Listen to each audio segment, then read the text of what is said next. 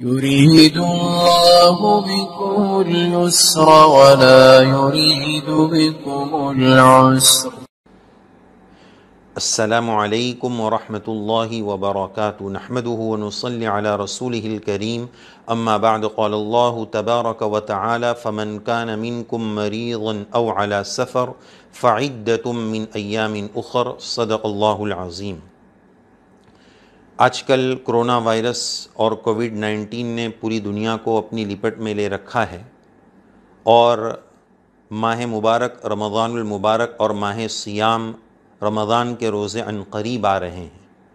और इस ताल्लुक़ से इन हालात में W H O, world health organization की तरफ़ से ये हिदायत, एहतियाती तदाबीर में बताई जा रही है कि अपने हलक को खुश्क न होने दिया जाए थोड़ी थोड़ी देर पर पानी पीने का अहतमाम किया जाए, पानी पीते रहा जाए तो अब इस एहतियाती तदबीर के पस मंज़र में इस वक्त रमज़ान मुबारक आ रहा है तो रोज़ों का क्या किया जाए?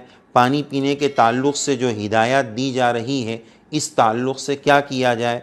तो इस मसले की तफसीलात अर्ज़ करनी है पहली बात इस सिलसिले में ये अर्ज़ करनी है, अल्लाह ताला हिफाजत फरमाए, जो मरीज़ और जो पेशेंट इस सिलसिले में मुस्बत और पॉजिटिव पाए गए हैं और उन मरीज़ों को अगर डॉक्टर ये कह दें कि रोज़ा रखना आपके लिए हानिकारक है मुदर सेहत है, इसकी वजह से मौत वाक़ हो जाएगी या बीमारी के बढ़ जाने का यकीन गालिब है तो अब ऐसी सूरत में, फ़मन का नमिनकुम मरीज़न, आयत शरीफ़ा की रोशनी में, ऐसे मरीज़ को रोज़ा न रख कर आइंदा उसकी कज़ा कर लेने की इजाज़त और गुंजाइश है कि वो मरीज़ जो पॉजिटिव और मुस्बत पाए गए हैं और डॉक्टर की तरफ़ से उनको मना है तो फिर वो रोज़ा न रखें और इस रुखसत से फ़ायदा उठाकर बाद के दिनों में अल्लाह ताला उनको शिफा नसीब फरमा दे, उसके बाद उन रोज़ों की वो कज़ा कर ले।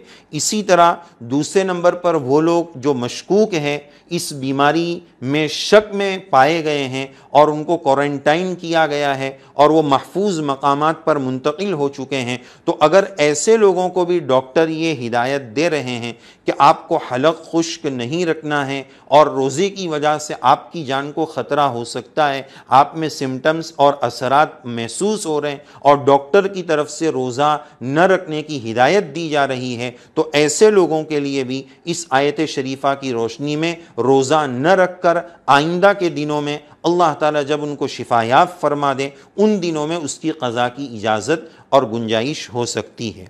इसी तरह तीसरे वो लोग जो इस वक्त इंसानियत की बहुत बड़ी खिदमत कर रहे हैं। अल्लाह ताला उनकी खिदमत को कबूल फरमाए और अपनी जान पर लड़ कर और अपनी जान को ख़तरे में डाल कर और इंसानियत किसको कहा जाता है, उसका अमली डेफिनेशन और अमली तारुफ करा रहे हैं ऐसी डॉक्टर की टीम और ऐसा स्टाफ जो इस वक्त खिदमत में, खिदमत खल्क में लगा हुआ है। डॉक्टर का स्टाफ हो या पुलिस का स्टाफ हो या और जो भी स्टाफ हो सकते हैं जो इंसानियत की खिदमत में लगे हुए हैं और कई कई लंबे घंटों तक उनको ड्यूटी देना पड़ता है। ऐसे लोग अगर रोज़ा रखेंगे तो शायद वो ड्यूटी न अंजाम दे पाए और मरीज़ों के लिए प्रॉब्लम खड़े हो जाए। और ऐसे लोगों के लिए अगर मुश्किल आ रही है तो उनके लिए भी रोज़ा न रख कर इन हालात के दुरुस्त हो जाने के बाद वो इन रोज़ों की कज़ा कर ले। तो उनके लिए भी गुंजाइश दी जा रही है।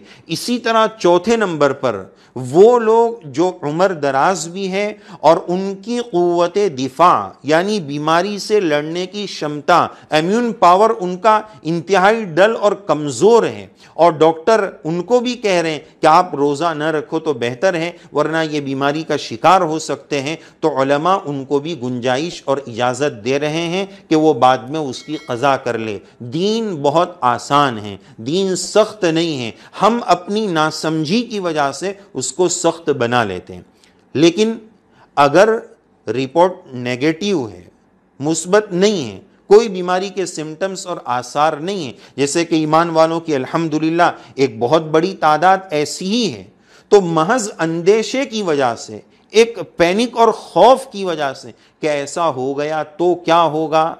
तो इस वजह से रोज़ा न रखने की गुंजाइश नहीं होगी। फमन शहीद अमीन कुमुशहरफल यसुम अल्लाह अज्जल फरमाते, जो मुसलमान रमज़ान का महीना पाले, उस पर रोज़ा रखना वाजिब है। और अभी करीब के ज़माने में, पंद्रहवीं शाबान, उस वक्त भी ये बीमारी की महामारी चल रही थी और दुनिया भर में पंद्रह शाबान के बहुत सारे हज़ारों ईमान वालों ने रोज़े रखे अयाम बीस के रोज़े रखे, लेकिन कहीं से ऐसी खबर नहीं आई कि उनको रोज़ा रखने की वजह से कोई प्रॉब्लम हुआ है। तो खुलासा ये कि बिल्कुल हालात नॉर्मल हो और कोरोना वायरस और कोविड 19 की रिपोर्ट बिल्कुल नेगेटिव हो तो महज अंदेशे की वजह से कि रोज़ा रख लूँगा तो ऐसा हो जाएगा। तो फिर रोज़ा न रखने की गुंजाइश और इजाज़त नहीं मिलेगी। रोज़ा रखना ज़रूरी होगा। अल्लाह ताला की ज़ात से उम्मीद करते हुए कि इन इस रोज़े की बरकत से अल्लाह ताला मेरी क़वत दिफा को भी मज़बूत करेंगे और इस बीमारी से भी अल्लाह ताला हमारी हिफाजत फरमाएँगे। तो इन हिदायत की रोशनी में हमें इन हालात में रोज़े के मसाइल को सीखना और समझना और आगे पहुँचाना है। अल्लाह ताला तोफ़ी अमल से नवाजें। आमीन। वीडियो के नीचे सब्सक्राइब के बटन पर क्लिक करें, बेल के आइकॉन पर क्लिक कीजिए ताकि हर नई वीडियो की नोटिफिकेशन आपको मिल जाए।